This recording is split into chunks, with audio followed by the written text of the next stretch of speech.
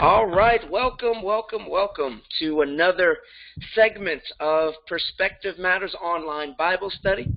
Uh, we are dealing with applying the kingdom, rediscovering the priority of God for mankind, and we are literally finishing this uh, this series some 14 weeks after we began it, and we're going to finish it, I believe, in grand style. Uh, we're going to finish it where we really begin uh, kingdom life at the process of entering the kingdom. The process of entering the kingdom. This is the process of entering the kingdom, part two. We did part one last week, and I pray that your appetite was whet for more.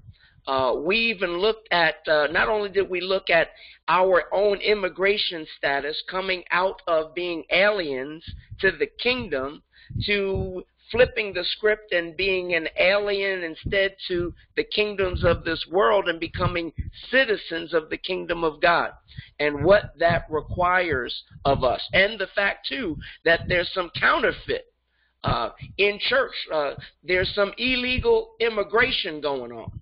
Folks who are claiming citizenship but having none of it. Uh, we we are literally watching. The world is watching today uh, with glaring eyes at as a leader of the quote unquote free world who claimed uh, a label of Christian and Christianity, but is not walking as a citizen. My goodness, I just saw a news clip of our president literally pushing another president out of the way for a photo opportunity. Literally, physically manhandling the, the guy because he's president of a smaller nation. what gives you the right to manhandle someone? Just push them out of the way so that you can get in the front row for a photo op. Uh, that that that's you. Somebody might make an excuse for it being Christian, but it's not citizen. It's not citizenship. That's not what citizens of the kingdom do.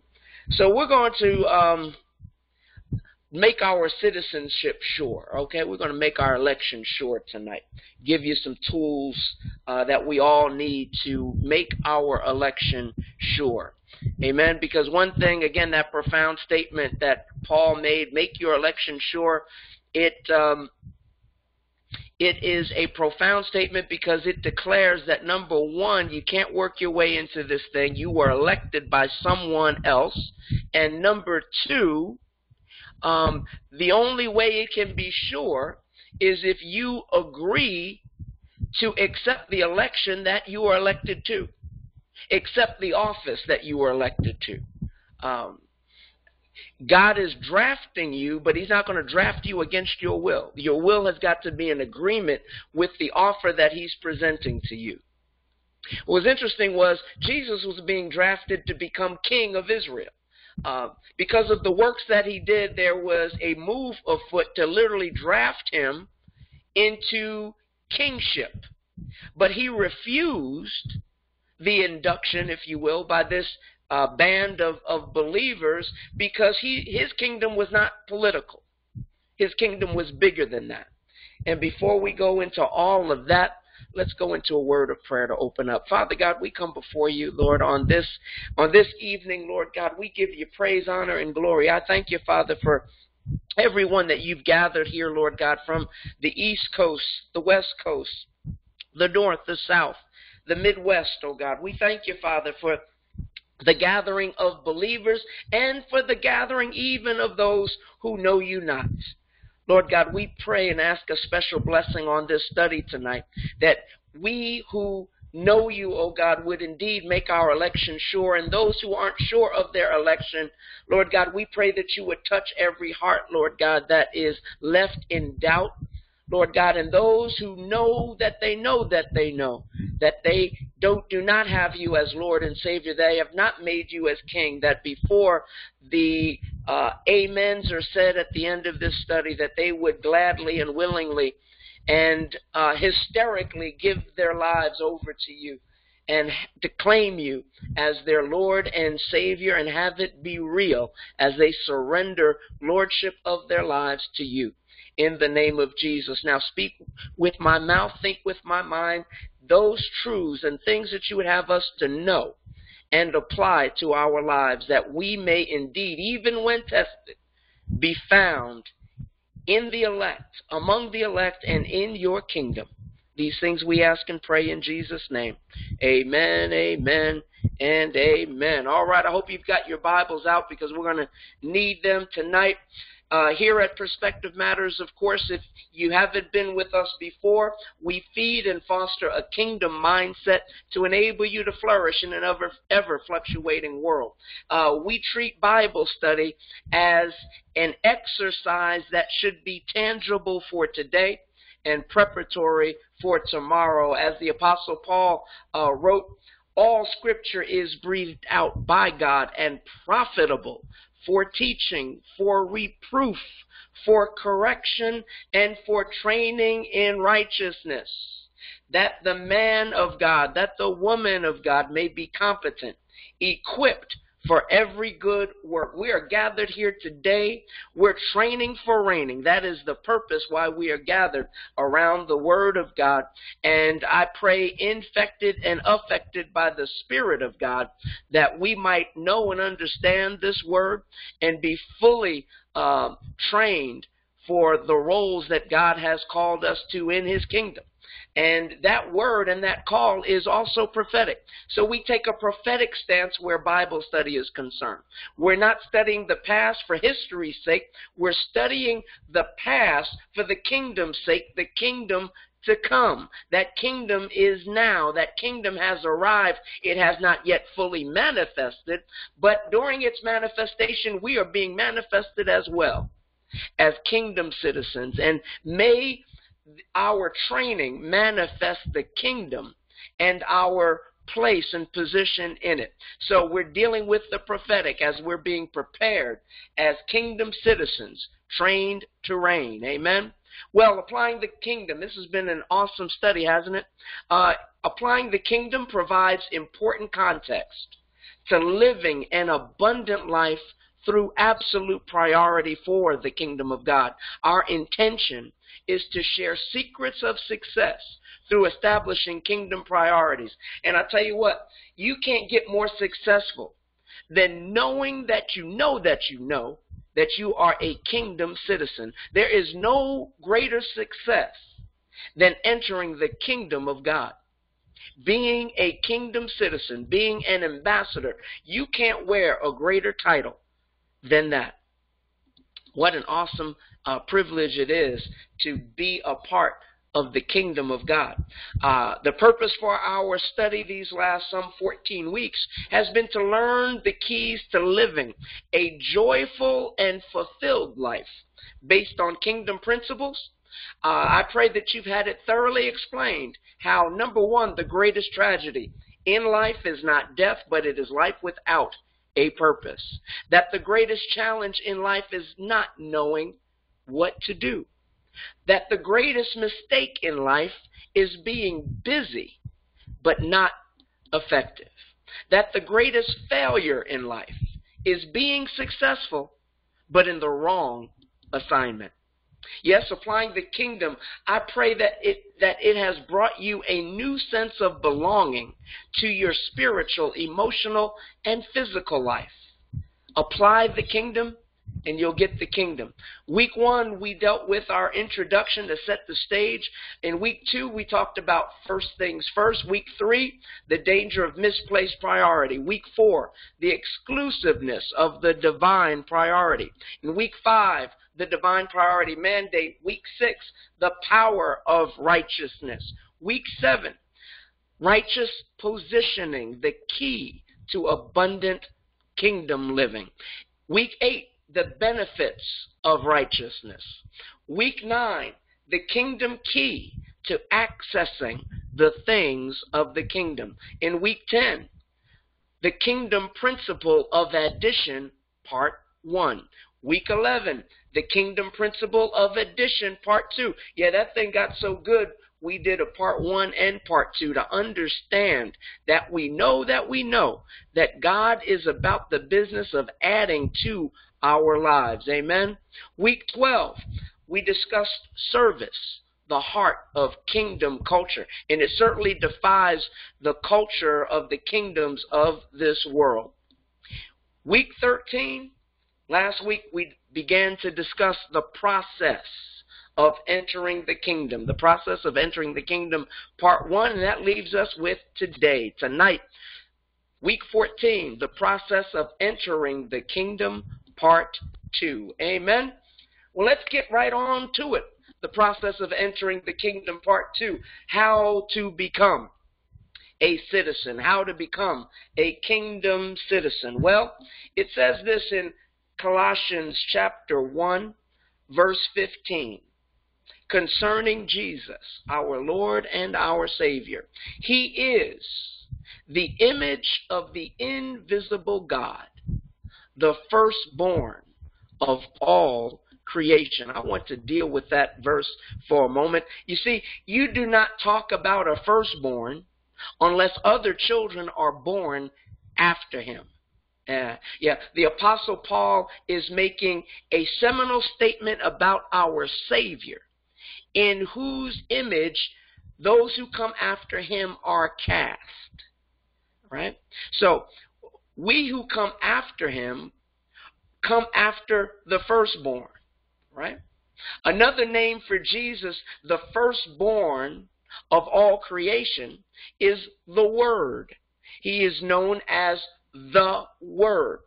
In in John chapter 1, verse 1 through 2, it, it reads, in the beginning was the Word, and the Word was with God, and the Word was God. He was in the beginning with God. So, he who is the image of the invisible God, the firstborn of all creation, has always been and always will be. And it is his image in which we are cast. You see, this word, Jesus Christ, is the one who speaks words of life into each one he calls into his kingdom. He's called the Word because he speaks the Word. He is the Word. He encompasses the Word. There's not a word in the Word that does not concern him. His coming the first time or his coming the second time it points to, the Word points back to itself. The Word points to the Word from Genesis to Revelation.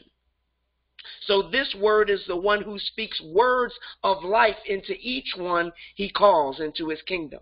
I pray that every time you hear a brother or sister teaching or preaching the Word, they speak words of life into you to buoy you into a life and a lifestyle you have not yet walked in the fullness of as yet. Right? It's important that we encourage one another, the Word of God says. You see, you can't earn your way into His good graces nor into His kingdom. Right? This is not a king that you can impress. Kingdom citizenship is not like membership in a social club or civic organization where good work, works count as membership points. You know, to join a fraternity or a sorority, you've got to have a certain grade point average, a minimum grade point average. And then during your, uh, to, to, to pass through your indoctrination into that fraternity or sorority, you've got to go through some things. You've got to serve some folks. You've got to earn favor with your brothers and sisters that they would allow you to come in and be a part of their fellowship, but not the kingdom. The kingdom citizenship does not work like membership in a social club or a civic organization where good works count toward membership points. No, just as a new baby can't work their own way into life in this world, you can't work your way into life in God's kingdom. Just like physical birth, you leave behind the confines of your old existence and enter into the endless possibilities of a new life through Jesus Christ. And, and, and I, I love even the way this is, is, is pictured and designed. Uh, you see, physical birth You're leaving behind something. You, you, leave behind your mother's womb. You leave behind the shaping place where you were shaped and manufactured. And all that's left is a sign that you were once connected to your mother uh, through your umbilical cord. That, that belly button of yours, right in the middle of your torso, is the only sign that's left behind that you began someplace that you had to leave. In that same way, spiritually, we leave behind the confines of our old existence because that wasn't life. Not according to God's perspective. Right? You sucked air, you walked earth, you had the, the bodily and physical requirements of food and water. Um, but that wasn't life according to life as God has ordained it. You were existing, but you weren't living. But we're called out of our old existence and into the endless possibilities of a brand new life in a brand new land, a brand new kingdom. We're called spiritually out of one place. And God will not only bring you spiritually into another, but He will bring you physically and materially into another realm as well to touch every realm of your life body, soul, and spirit. Your salvation has impact in every area of your life by design. You see, the difference between your physical birth and your spiritual rebirth is the difference is that this birth is a birth of your spirit, a rebirth of your spirit. Your body cannot be reborn. It, it's already been born once, but your spirit needs to be reborn. The Word of God says this in John chapter 3, verse 6 that which is born of the flesh is flesh. That which is born of the Spirit is spirit. Flesh is only meant to house that which is spiritual. Your real self, your real identity is not what you look like on the outside, but who you are, your spirit who dwells on the inside. On the inside. Uh, yes, the process of entering the kingdom. Free at last from the power of death. That, that, that is what the process of entering the kingdom entails. It is freedom from the power of death, where God decided to apply the penalty of sin and death to himself. You see, rebirth means shaking free of death's grip once and for all. And I don't even believe those of us who are legitimate and authentic kingdom citizens uh, always understand and and are reminded of what our rebirth really means. That we've been shaken free of death's grip, the entirety of death's grip over you once and for all. So what was done once is good for all of your life. And, and, so we are no longer under the penalty of death or sin because God doesn't see our sin anymore. Let me go into this. Remember, first and foremost, Uh, I, I want to declare that from God's perspective, He sees you and I, He sees His entire creation in a before and after picture. Right? What God sees is what He intended and purposed from the beginning. There was no death intended for you and for I. Death was never God's will. And it's not God's will today. Yet, well, Pastor, people are dying every day. Yes, they're dying every day, but that doesn't mean that God willed it. That is not a function of God's will. Stop blaming God for people's demise. There was no death in the garden at first. And at the first typifies what God's intentions and will consisted of. God sees a picture in the garden of that is God's will. God's will for you and I is a pre fall existence that we no longer know. But he wants to reconcile us back to, and he's provided a means for that reconciliation. So, the before and after picture is that God wants to reconcile you to the before the fall perspective that he had when he created mankind and the earth from the beginning. You see, death was not the result of God's will, nor is it today. Death is the result of Adam's sin. The wages of sin is death, Romans 6:23. We can't forget that and God is going to honor his word and his promise. His promise was that the wages of sin is death. If you sin, if you disobey me, death is going to be the result. Now the world is filled with death. Death is the final punishment.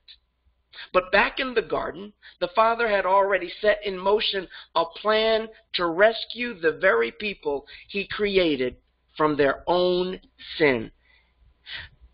But to accomplish the plan, somebody, not just anybody, but somebody, would have to die.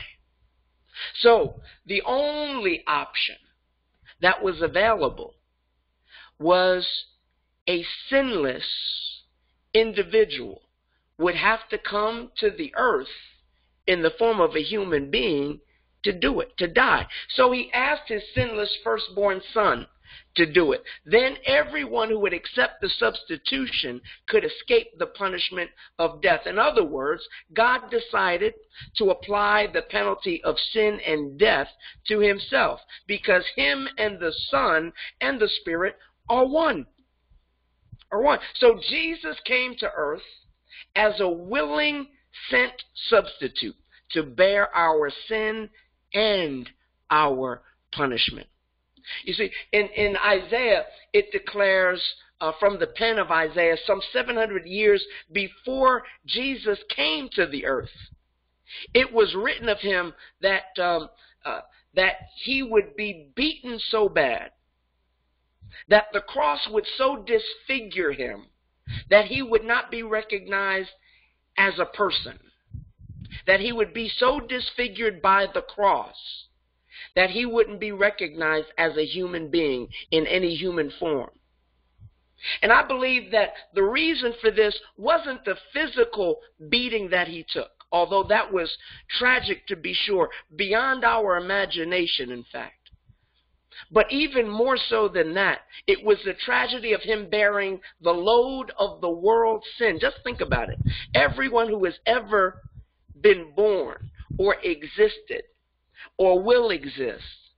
Christ himself bore the ugliness of all of our sin, all piled on top of him at one time. That was his disfigurement.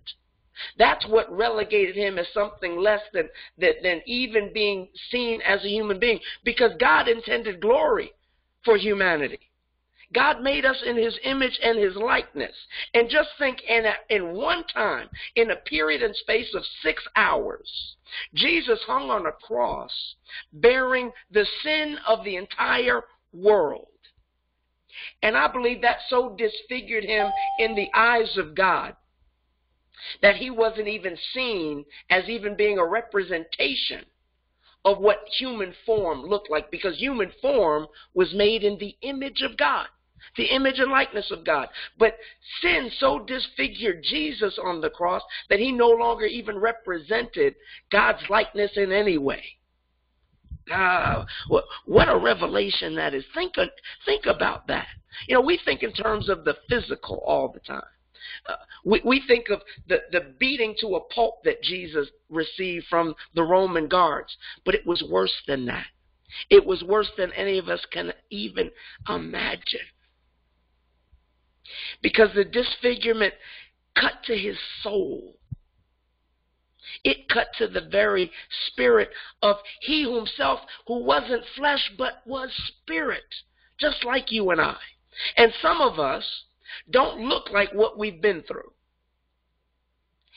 We, because of our sin condition, we've gone through some things. We've been through some things that only by the grace of God doesn't show on the outside of ourselves because it, the, the ugliness of what has cut us up on the inside bears no likeness to our outer man and woman.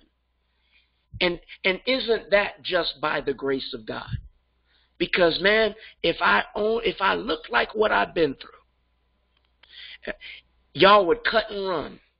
Who is this ugly, tall up brother up in here? But we can put a mask on. And when we come to Christ, we don't need masks anymore. The masks really become the glory of the living God on us that covers the ugliness of what we've been through. My God. Mm. So God decided to apply the penalty of sin and death to himself. Jesus came to earth as a willing sent substitute to bear our sin and our punishment. His bearing of our sin and the death that was meant for us was the ultimate demonstration of this thing that we call love. You want a demonstration of what love looks like? We can't even get an accurate picture of it on with Jesus on the cross. Because we only see renderings, artist renderings of his physical condition, the blood that was running down, the the uh, the, the nails, the, the spikes in his hands and in his feet, the crown of thorns plunged into his brow, and ultimately the final blow, the spear that was shoved into his side the lashes that he took on his back, separating skin and muscle from bone, beating him within an inch of his own life even before he was put on the cross. But we have no idea, nor is there an artist rendering of the agony of his soul. When he cried out, My God, my God, why have you, why have you forsaken me? I do believe that was Jesus at his hmm, at his soul's ugliness. He where he wore the the ugliness of sin upon him, your sin and my sin, and every one of the multiple billions and billions of people who have and will inhabit this earth. What a demonstration of love that is. Even as we say we love someone, would we be willing to suffer the agony that Jesus suffered as a demonstration and show of our love? My goodness. My goodness. Um, that is mind blowing and, and soul stirring if there ever was free at last from the power of death. You see, Jesus carried to the cross not only our sin, but he also carried its consequences, the consequences of our sin. He, he carried to the cross our evil thoughts. He carried our thought life to, to the cross. He carried our broken hearts to the cross. The brokenness of broken spirits and broken relationships, those consequences that come part and parcel to sin. He carried our diseases to the cross. He carried our injuries to the cross. He carried our disappointments to the cross. He carried our wickedness to the cross. Now, the whole Old Testament leads up to the time when Jesus came to do precisely that. From Genesis to Malachi, everything was pointing to, the word was pointing to itself, that it would show up on the scene to extinguish everything that was leaving us broken, leaving us lacking, leaving us missing that which we need for wholeness. The blood sacrifice system was instilled from the very fall of Adam to the cross of the second Adam. If we see Genesis chapter 4, verse 3 through 7, if you have your Bibles, um, certainly feel free to, to turn to it. Genesis chapter 4, beginning at verse number 3, talking about the implementation of the blood sacrifice system. Verse 3. In the course of time, this is concerning um, Cain and Abel. In the course of time, Cain brought to the Lord an offering of the fruit of the ground. And Abel also brought of the firstborn, is that word again, firstborn. And Abel also brought of the firstborn of his flock and of their fat portions. And the Lord had regard for Abel and his offering. But for Cain and his offering, he had no regard. So Cain was very angry, and his face fell. The Lord said to Cain, Why are you so angry, and why has your face fallen? If you do well, will you not be accepted? And if you do not do well, sin is crouching at the door. Its desire is for you, but you must rule over it but you must rule over it. Oh, my goodness. There, there's some profound imagery involved in these uh, few verses uh, in uh, Genesis chapter 4, 3 through 7. Um, uh, the, the first is this notice that um, in the course of time, by way of process, in other words, you see, there's a process to this salvation thing. That we knew that the need for a Savior and for salvation and a blood sacrifice happened in the prior chapter, in chapter 3 of Genesis, where we witnessed the first Adam falling. Now we witness his offspring, his progeny, one with a fallen face because his sacrifice uh, God had no regard for. Why didn't God have a regard for Cain's sacrifice? Why? Because there was no blood attached to it. The reason why Cain's sacrifice was accepted was because not only was it a blood sacrifice, but also Abel knew something about a coming Savior. There was something that God had put into Abel uh, that he elected him to have. Some knowledge of something beyond Abel's own self, that he would understand what a Savior would accept as a reasonable sacrifice. The firstborn of his flock and of their fat portions is what he brought before the Lord. There was something innate in Abel that allowed him to know and be able to discern what was acceptable to the Savior versus anything less than that. Now, the fact is that they both brought sacrifices, but one was more acceptable than the other. One contained blood, and the other was just a fruit of the ground. You see, the killing of an innocent animal as a sacrifice, though, is not the same as killing an innocent man what was required to cure our sin condition uh, was something greater than just the sacrifice of an animal. Now, this animal's blood sacrifice system lasted a mighty long time from Genesis chapter 4 all the way until the end of Malachi and the beginning of Matthew, the New Testament. The penalty for sin, understand this, was not on animals, it was on humans. So God needed a sinless human sacrifice to serve as the ultimate payment for sin. Everything else in the Old Testament blood sacrifice system was pointing to the Word who was to come. That Word, Jesus Christ, who became our blood sacrifice and the only atonement we would ever need. Thus, even Jews can't explain it, but after Jesus went to the cross, somehow, some way, the blood sacrifice system ended. And no one can really explain why. But God.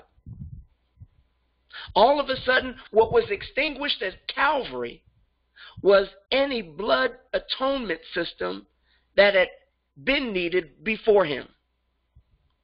Because the ultimate sacrifice had come and he was sacrificed. Jesus was that sacrifice. Now, check this. If we accept what Jesus did, the words of Romans chapter 6, verse 4 through 8 can apply to our own lives. Uh, well, uh, Pastor, what, what word is this out of Romans chapter 6? Well, be a good Berean and turn the pages of your Bible with me, and let's see what the word says that if we accept what Jesus did, what will apply to our own lives. Romans chapter 6, beginning at verse 4. And it reads, We were buried, therefore, with him by baptism unto death, in order that, just as Christ was raised from the dead by the glory of the Father, we too might walk in newness of life. For if we had been united with him in a death like his, we shall certainly be united with him in a resurrection like his. We know that our old self was crucified with him in order that the body of sin might be brought to nothing, so that we would no longer be enslaved to sin. For one who has died has been set free from sin. Now, understand that when you're when you're set free from sin, you're also set free from sin's consequences. Uh, yeah, yeah, yeah. Sin comes with consequences. The ultimate consequence being death. Let the redeemed of the Lord say so. You aren't just redeemed. Ultimately, you and I are redeemed from death when we accept the sacrifice that Jesus made. But we're also, if we're if we're now redeemed from and released from the ultimate penalty of sin, which is death, you're also released from the penalties of disease, of brokenheartedness, of poverty, all of the things that the conditions that sin causes, if you're released from the ultimate penalty of sin, aren't you, doesn't it make sense that you're reduced from some of the lesser stuff? Some of the lesser stuff, in fact, brings us to death. It brings us to the death of our peace. It brings us to the death of our understanding because we get so caught up in the worry about things that we've been redeemed from. We need to fully accept and embrace our salvation. Because if we do, that also releases us from the condition and consequence of worry. That's why we're called not to worry about anything. Let the redeemed of the Lord say so. Claim your redemption. Redemption from sin. Free at last from the power of death. You see, once Jesus died, nobody else had to die. You don't have to die if you fully accept and embrace his sacrifice. Well, uh, uh, well, Pastor, doesn't it say um, uh, that uh, all must die once? Well, we've got to look at death again, not from our human perspective, which is limited, but from God's perspective. God calls us to see death as He sees it. He sees death the way that He has uh, has restored and engineered those who are redeemed as not death at all, but a passageway to a brand new beginning. We see death as an ending. But for the redeemed of the Lord, it's a brand new day. It's a brand new beginning. I'm going to tell y'all right now, I'm going to put it out there. Uh, if if or when the Lord should ever call me home, don't y'all don't y'all have no grief party for me. Y'all better have a praise party for me, because I will sure be laughing from where the venture point that the vantage point that I'll have from on high. Uh, don't be brokenhearted over my departure, not demise. When we de- when we depart, saints, we depart. It is not our demise. It is merely our departure into the fullness of a kingdom that we've been talking about, preaching about, teaching about, studying about, longing for. Once Jesus died, nobody else had to die. His death paid for all that sin. He made it possible for us to be born anew. Now through Jesus, eternal life has been restored. I'm talking about a pre fall garden experience is there for us to experience because Jesus restored what the Father had always purposed and intended that we would live and not die because sin would not apply. We can live forever as if we never sinned even once. That is the benefit of citizenship. We've got papers to show, and they are written in the blood of Jesus. We are blood bought into the kingdom. That he doesn't see our sin, he sees our passport and gives us a pass because the spirit of death passes over because of the blood. You've got a passport.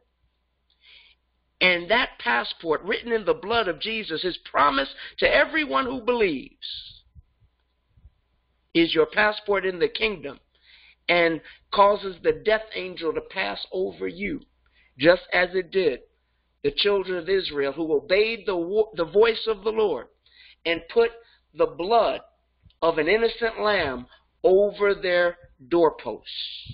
This is the salvation story. If you want to make it your own story, you need to be born again spiritually. Just as both water and blood were involved in natural childbirth, both water and blood were part of Christ's death. Let's look at the at John, John chapter 19, verse uh, verse 34. John 19, 34.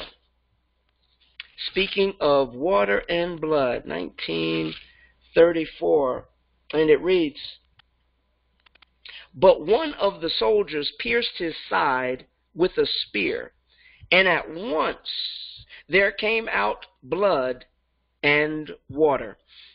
You see, just as blood and water are shed during natural childbirth, the birth that Jesus allowed us to partake in, a rebirth, came by way of the same substance. But it was his, the shedding of his blood and his water that allows us to be reborn spiritually into brand new life. And they signify the life of every every believer. The, the new life is signified by water and by blood. Let's look at, um, let's go from the Gospel of John to an epistle of John, the first epistle of John. John, First John, First John chapter 5, verse 4 through 8. Let's look and see how this blood, water and blood are part of not only Christ's death, but your rebirth and my rebirth. John chapter, First John chapter 5, uh, beginning at verse 4. For everyone who has been born of God overcomes the world. And this is the victory that has overcome the world, our faith. Who is it that overcomes the world except the one who believes that Jesus is the Son of God? This is he who came by water and blood. Jesus Christ, not by the water only, but by the water and the blood. And the Spirit is the one who testifies, because the Spirit is the truth. For there, is, for there are three that testify. Listen. The Spirit and the water and the blood. And these three agree. Mm-mm-mm. For those of us who meet uh, every week on Wednesday for the uh, Perspective Matters prayer call, whether at 6 a.m. Eastern Time or 6 a.m. Uh, Pacific Time or both, uh, we know something about the power of agreement. And the power of agreement, what makes the powerful power of agreement powerful is not just us agreeing with one another, but the blood and the water that Jesus Christ shed on the cross, that we agree with its shedding and what it means for us, and the authority that it gives us to turn a bad circumstance around and have the Lord bring good out of it. The power of his blood. The washing of water that washes our sins away. The water and the blood. Uh, this demonstration of immersion, uh, baptism, to be baptized simply means to be immersed. We are literally immersed in both the water and the blood of Jesus to the point that he doesn't see us as sinners anymore. Not when we are immersed, not by ritual, but by right, by birthright. Uh-huh. To meet somebody is not to know their birth. You don't know their birthright. You don't know their birth order. You don't know what they have nor what their inheritance is. Not unless they tell you. In the same way, you could see someone be baptized, but their baptism will be a lifestyle. It will become how they live. They will be immersed in the water and the blood of Jesus. And they will understand that that immersion signifies something. It, it is not just a some kind of religious experience. No, it is not that. It becomes a lifestyle that is anything but religious. It is not about rituals. It is, it is about life itself. Amen? The process of entering the kingdom. Born into citizenship. That is what we are. I love this in John chapter 3, verse 3 we have the account of Jesus encountering the Pharisee, the ruler of the synagogue in Jerusalem, the powerful Nicodemus. Jesus answered and said to him, Most assuredly, I say to you, unless one is born again, he cannot see the kingdom of God. That is a definitive statement and a definition of kingdom citizenship. Most assuredly, Jesus says. Uh, truly, truly, verily, verily. It, it, most assuredly, I'm not telling no lies. I say to you, unless one is born again, he cannot see the kingdom of God. You cannot be born for your children and you can't be reborn for them either. Just because their parents are in the kingdom of God does not automatically put them in. We've got to understand that you've got to be born into this thing. You can't work into this thing. Somebody just can't hand you a baton and you get into this thing because you are connected to thus and so and whosoever. No. You've got to know this for yourself. You've got to be born again yourself. You've got to be reborn yourself. Now, Nicodemus is a prime example out of John chapter 3, this, this uh, encounter that he has with Jesus. Nicodemus, a religious leader, the, the ruler of the synagogue, he was the top dog in the most religious place in all of Israel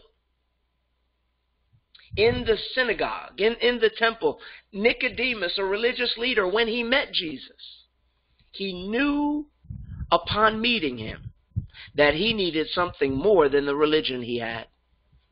Let's look at, at uh, John chapter 3, beginning at verse 3. John 3 3. Jesus answered him, Truly, truly, or most assuredly, I say to you, unless one is born again, he cannot see the kingdom of God. Nicodemus said to him, How can a man be born when he is old? Can he enter a second time into his mother's womb and be born? Jesus answered, Truly, truly, I say to you, or most assuredly, I say to you, unless one is born of water and the Spirit, he cannot enter the kingdom of God. That which is born of the flesh is flesh, and that which is born of the Spirit is spirit. Do not marvel that I said to you, You must be born again. The wind blows where it wishes, and you hear its sound, but you do not know where it comes from or where it goes. So it is with everyone who is born of the Spirit. Nicodemus said to him, How can these things be? Jesus answered him, Are you the teacher of Israel? And yet you do not understand these things? Uh, Jesus put him on blast. Jesus put his religion on blast. Jesus put his religious doctrine and knowledge on blast. This learned man, remember, this man was a Pharisee. From the time he could talk, he was indoctrinated into the law, the first five books of the Bible, what was required of him. By the time he turned 13 and was bar mitzvahed, he had to be able to memorize and quote word for word every word of the first five books of the Bible. Some of us have uh, have trouble with Jesus wept. the Pharisees had to memorize to become a Pharisee. You had to memorize the first five books of the Bible verbatim. Not five scriptures, not five verses. No, I'm talking about five books Genesis, Exodus, Leviticus, Numbers, Deuteronomy. You had to have it down. This man who knew so much, along with his other Pharisaical brethren, did not know what kingdom citizenship required. He was a religious leader, but upon meeting the king, he realized that his knowledge was nowhere near enough. He needed something more than just religion. So Jesus told Nicodemus that the only way to get into the country of the kingdom is the same way he could only get into the nation of Israel through birth. He had to be born into Israel to be considered an Israelite. Uh, the Gentiles, if you weren't born into this thing, you couldn't even get into the inner court. Uh, there was a court for you. It was on the outside. It was called the court of the Gentiles. It was on the very outskirts of the of the synagogue of, of the temple. Right? Even the women got closer than Gentiles did, and and women were considered at the time uh, kind of outside of being in the know because most women at that time couldn't read. It was the men who were learned and, and, and typically the learned men tended to be those who were involved in religious service, like the Pharisees. Right? Everyone else was marginalized. And who was marginalizing people? The learned people, the religious people. And religious people are still marginalizing others today. Marginalizing people right outside of the kingdom when they themselves aren't even in the kingdom. The Pharisees weren't in the kingdom, they didn't know the king. So Jesus explained to him that his body, Nicodemus's body, was not him. It was not what what uh, needed uh, that, that needed to be transformed. It wasn't him physically. His spirit was. His spirit was the real him. His spirit needed to be reborn. It wasn't necessary for his physical body to go back inside of his mother's physical womb. His spirit needed to be cocooned and changed. You see, his body was just a house for his spirit. His body had already been born. Now it was his spirit's turn. You cannot work for kingdom citizenship nor win the king's favor. This was the central question of Nicodemus's understanding about salvation and kingdom citizenship. He thought he could work his way in. He thought by being a high official, it, it was a foregone conclusion that he had the favor of God, that he would be in the kingdom. But nope, he was just put on blast. You must be born anew in your spirit by the power of the Holy Spirit. The process of entering the kingdom, being born into citizenship. Until you're born again, you cannot experience the kingdom personally. The Word of God says this uh, itself. It says, unless, unless you're born again, you cannot see the kingdom. Now, this word for see in uh, in uh, uh, in, in Greek actually means to experience. to see the kingdom, to experience the kingdom, you must be born again and be born again personally to personally experience the kingdom and the presence and power of the king. You see, being born again is not a religious experience.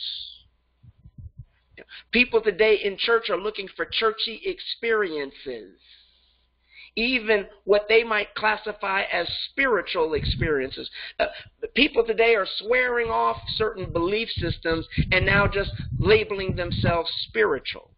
They want a spiritual experience, which really ultimately just becomes an emotional experience. People get caught up in emotions at church, and it seems like religious leaders know exactly how to stoke the fires of human emotion, get you all jacked up and and hyped emotionally only when you need the experience of the king and the kingdom to make a difference in your life. All of the emotion in the world can't bring and match the experience of the living God flowing in your life. A one time experience of uh, getting high emotionally in a sanctuary will do very little for you when you need to experience God's glory in the midst of troubling and difficult circumstances. Being born again is not a religious experience, it is a process, a pathway. You see, this encounter with Nicodemus is the only time in the Bible that Jesus mentioned being born again. It, it, gets no mention after this.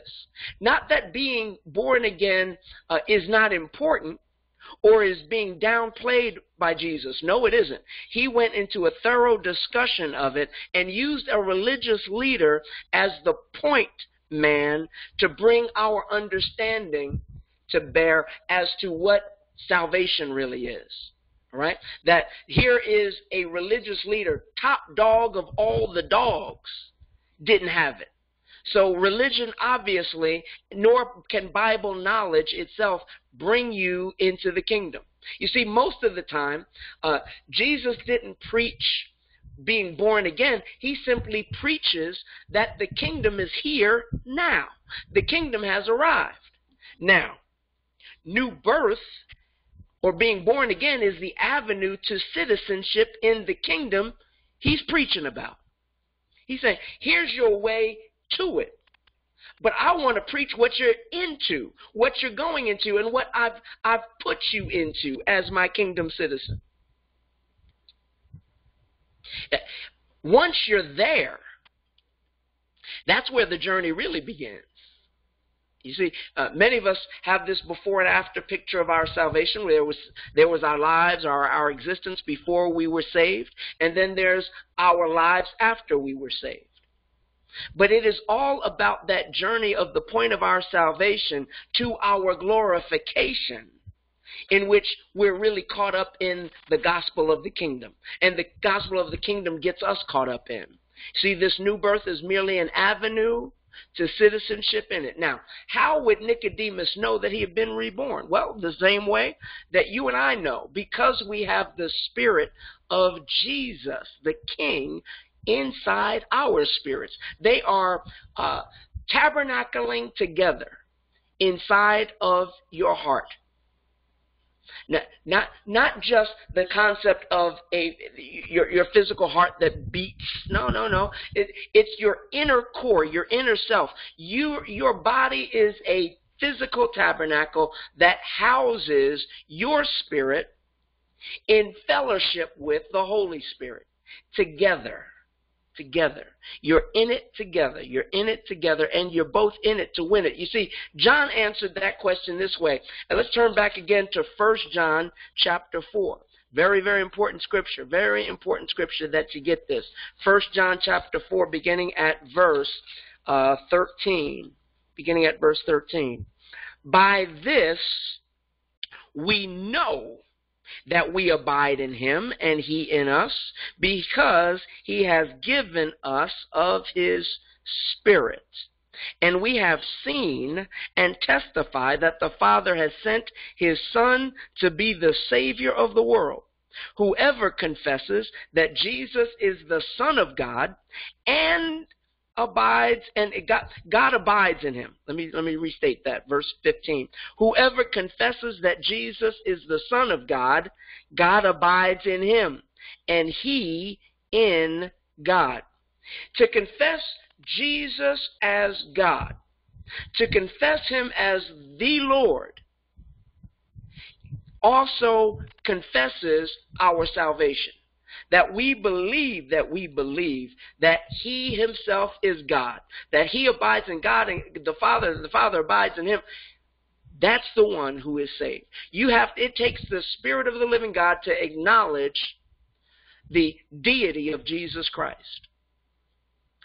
That's what made Peter uh, an important part in the founding of, of the church, where Jesus said, "Who do you who do you say that I am?" I, I hear you telling me what other people, uh, who other people think that I am. Who do you, you walk with me every day. You've been walking with me every day for three and a half years. Who do you say that I am? And Peter boldly proclaimed, as only as, as only he could, Thou art the Christ, Son of the living God. And Jesus confessed, it was the Spirit of God. Your flesh didn't tell you that.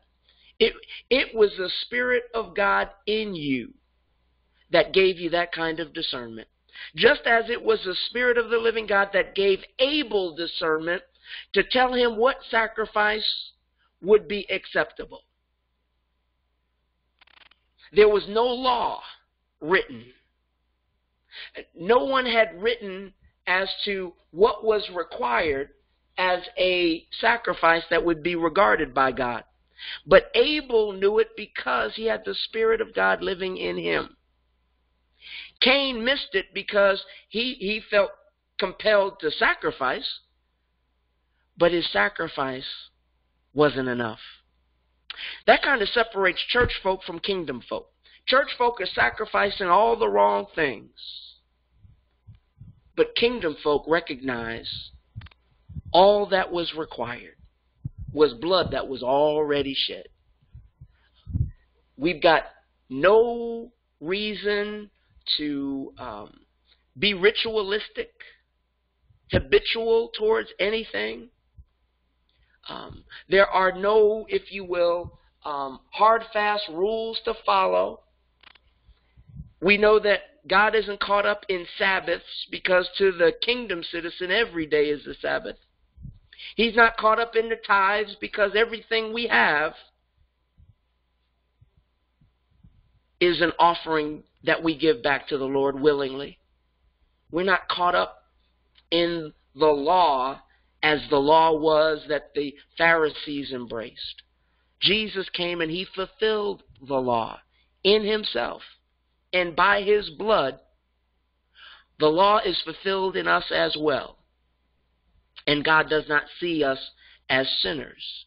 He sees us as redeemed and freed. All right?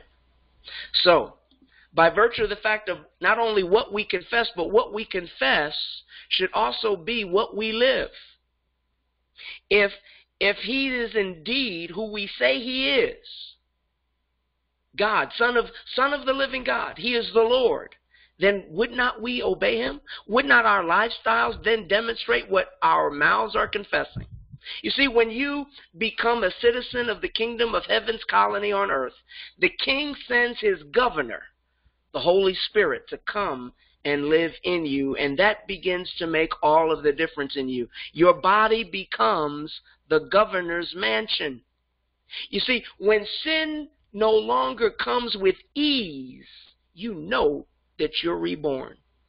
Because the Spirit will trouble you enough when sin begins to prey upon you and you begin to even think about plotting a, a sinful thing, the Holy Spirit will begin to whisper and trouble your spirit enough to say, no, that's not right. I, I can't do that. I, I can't live like that anymore. I, I, I used to be able to do that with ease. I can't do that anymore. I can't just lay down and let sin have its way. Not after what my Christ has put himself through to get me to a place of his righteousness. I don't want to sully his testimony. Mm. You see, your change is not physical. Your change of citizenship changes your disposition. Yeah, you become p- positioned differently where sin is concerned. Uh, it is just not an easy thing for you to stay and waddle around in a pigsty when you've known you've been called to live in a mansion. You know that you've been called to live on a higher plane than where your sin tends to put you. Uh, we want to think about our lifestyles. Yes, your lifestyle will reveal your change of disposition. Mm. Process of entering the kingdom. Obedience to the law, the key to privileges, the key to kingdom privileges. After your rebirth, you learn how to be a citizen of this kingdom by obeying the laws of the land. You see, we're, it's not about adhering to Old Testament law, but it is knowing the law that makes you a citizen. It is about knowing the ground rules and knowing then because the laws reveal the heart of the king who made the laws. The law was fulfilled in Christ Jesus. So if it's been fulfilled in him, then we would do whatever it takes to make the king fulfilled in us and us fulfilled in the king. So, the Bible is the constitution of the country, of the kingdom of God, and the Holy Spirit helps you understand what it says and apply it. The Holy Spirit will also help you understand how the kingdom works. And we continue to get revelation. You will never get so high in your understanding of God, understanding of the king and his kingdom that you that you don't have any more learning to do. It amazes me. It, it dwarfs my own understanding. Every time I come into some new revelation, revelatory knowledge of the king and his kingdom, I'm amazed at what I don't know. Yeah, it, I'm not impressed with what I know. I'm I'm really impressed with what I don't know. How much more is there, God, that, that you want to reveal to me? There's so much more to understand. And that new understanding just takes us into higher heights and a deepening relationship with Him. And we experience the King and His kingdom as He reveals Himself to us. His king, his kingship, his kingdom, and how it works. You see, with him living inside you, you'll be able to discern even the difference between true citizens and those who are pretending to be citizens of the kingdom. It's not about judging, it's about discernment. The Holy Spirit says it, the promise of the Holy Spirit coming from the lips of the Lord Himself. He's sending the Spirit, He's sending the Holy Spirit. He said, Who will lead you into all the truth. Not just all truth, all the truth.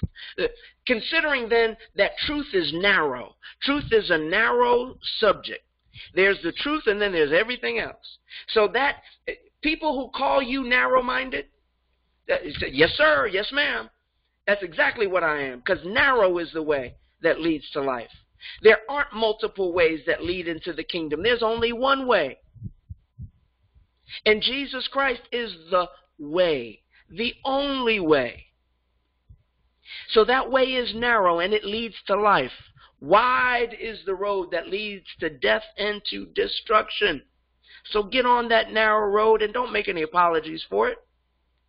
Yep, this is what the king says. This is what I believe, and that settles it. Call me narrow minded if you want, but you're also going to call me a kingdom citizen. Mm-hmm. Obedience to his constitution and commands is impossible without the help of the Holy Spirit. We can't walk this walk without him. That's why Jesus proclaimed that every tree, you will know every tree by its fruit. The fruit of the Spirit will reveal a person's true citizenship, whether they are genuine kingdom citizens or whether, whether they're perpetrating a fraud and engaging in illegal immigration. If they're an illegal alien, it'll show up in their lifestyle. It'll show up in their fruit. If you got rotten fruit, then that will identify you as an illegal immigrant. But if your fruit is good and getting better, ah, that's going to identify you as an authentic citizen of the kingdom of God. The stuff that I did, I can't do anymore. When you can say that, and you begin to produce a track record that shows that, you're on your way to the kingdom. God isn't finished with me yet. God isn't finished with you yet. But we can only, to, to get him started, the only way to get him started on you is to allow him to come in and reign as Lord. You see, God does not leave it up to you to select from a buffet of beliefs and doctrines. Yep, as I stated before, narrow is the way that leads to life. And he has laid that out for us in Matthew chapter 7 verse 13 and again in Luke 13 24. Luke 13 24. Let me just just reiterate what the Lord is saying here. 13 24 in Luke. Narrow is the way that leads to life. 1324. Strive to enter through the narrow door. We're talking about entering into the kingdom. That door is narrow. For many, I tell you, this is Jesus speaking and teaching. For many, I tell you, will seek to enter and will not be able.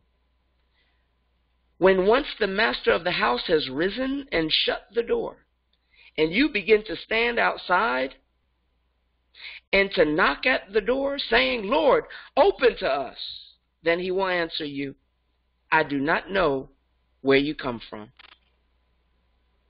Wow. It's tight, but it's right. I don't know where you come, came from. Like he was teaching Nicodemus about the Spirit. Like a wind, you don't know where it began and you don't know where it's going.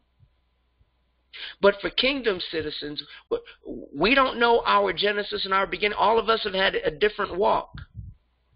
But I tell you what, the Spirit is leading you and taking you somewhere once He has command over you.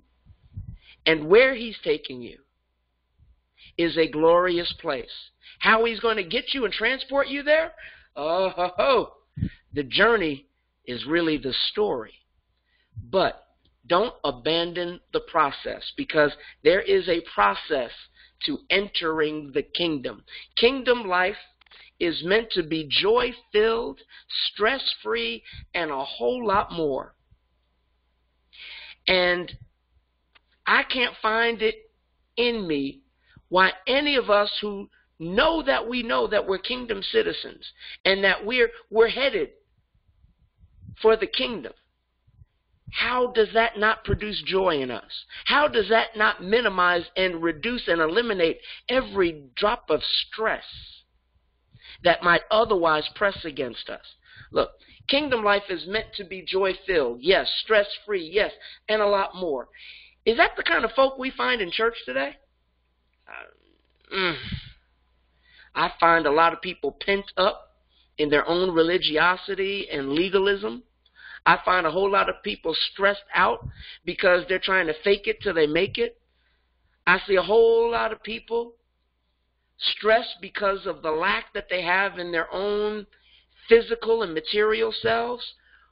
Whereas kingdom life is meant to be lived with this promise My God shall supply all your need according to his riches.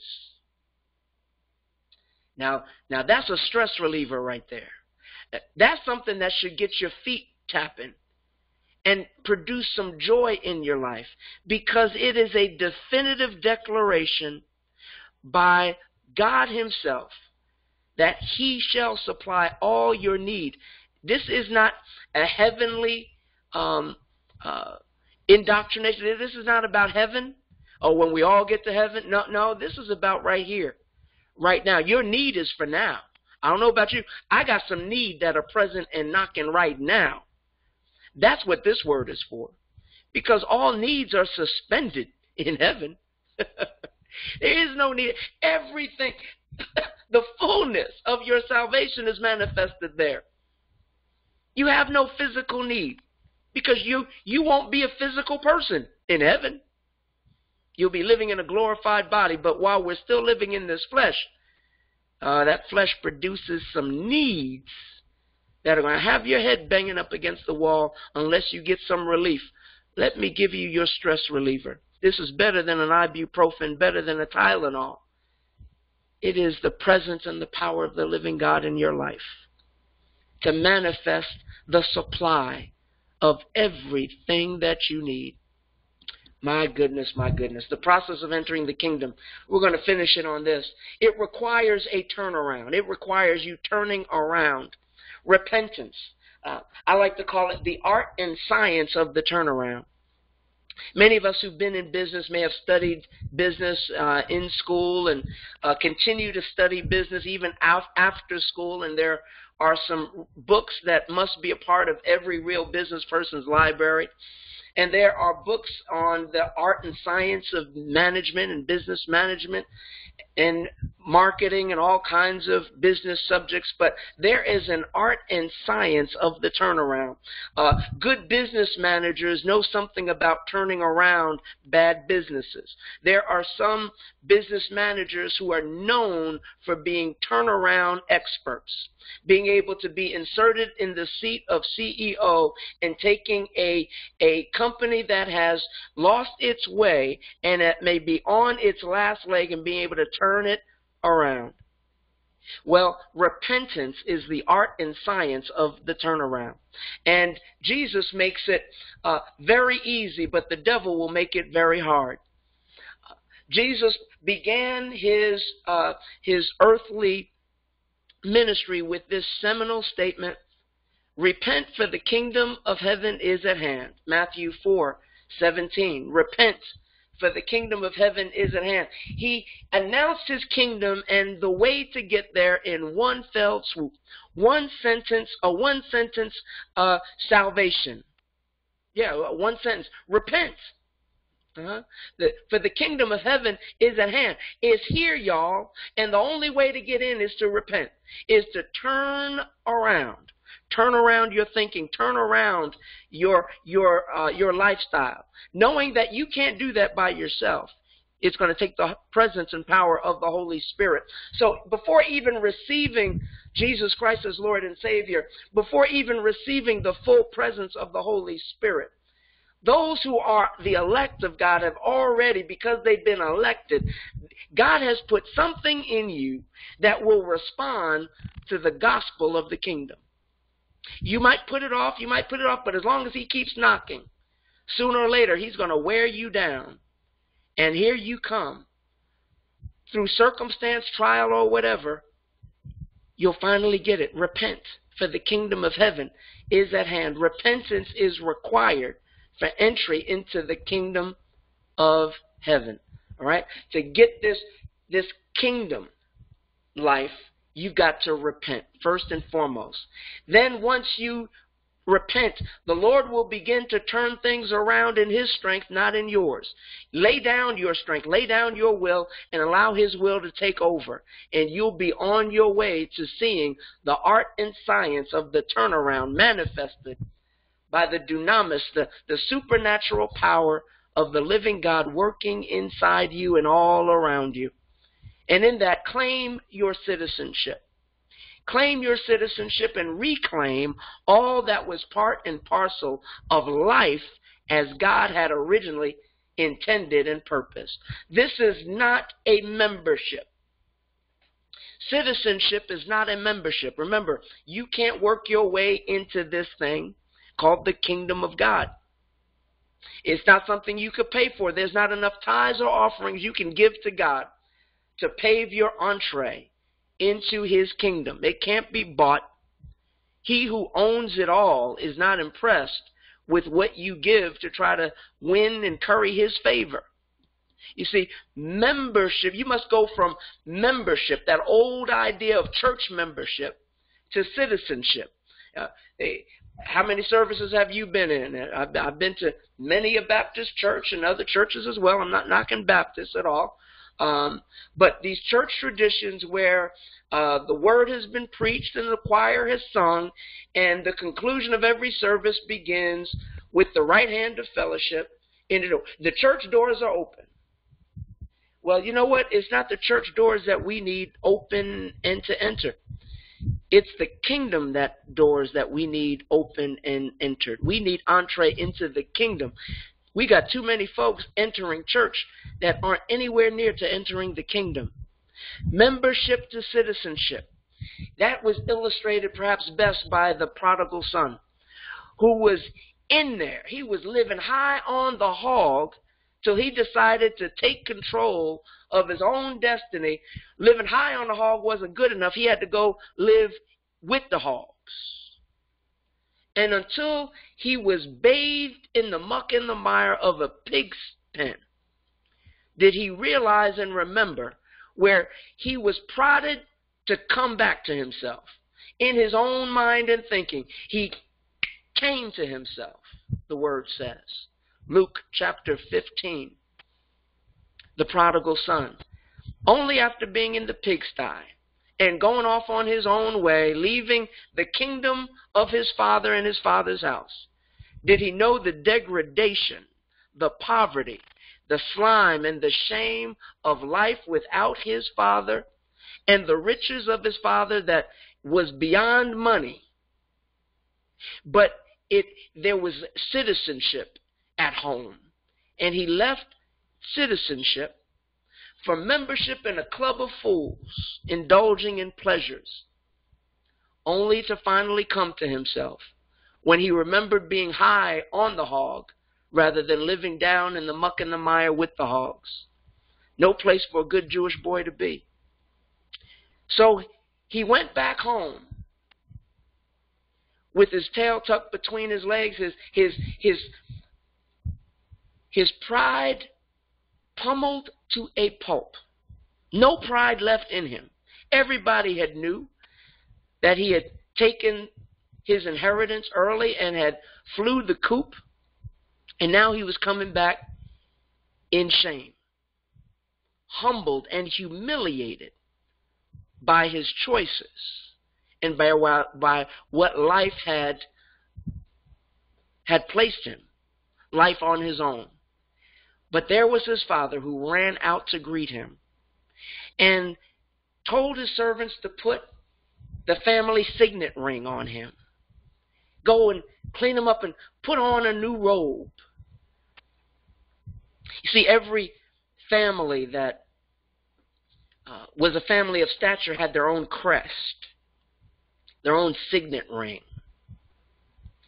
And on his finger went the ring of his father that sealed him not to membership in some club or society, but sealed him as a citizen of the land he once left, he was warmly welcomed back to and given his rightful position back. Even though he didn't want it back, he, he, he didn't feel worthy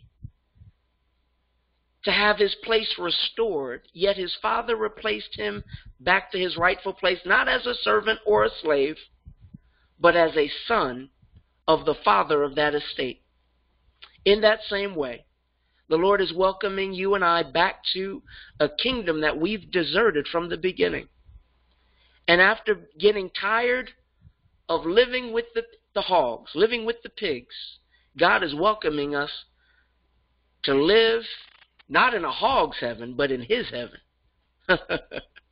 heaven right here on earth. As we colonize this earth for the benefit of his kingdom in heaven, surrender to the offer. Surrender to the offer. He's welcoming you back to a land that we left and was left for us, courtesy of the first Adam. But the second Adam made it possible for us to return and be received as sons and as daughters. No longer prodigal, but saved.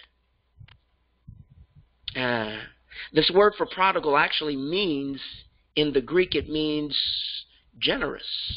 Generous. Um, generous. God is God's generosity given to those who don't deserve it. Yeah, this this prodigal son was given a generous opportunity for a rebirth back from the land and the kingdom he left, back into the kingdom and warmly received by his Father. That is our salvation story. Though you did not know life before the fall, God is beckoning you back to a restoration of the garden experience that we will know in his kingdom. Amen. Isn't that a good thing? Isn't that a good account? Well, meet us every Tuesday night for one hour Mantle Matters webinar where we're dealing with faith and finances.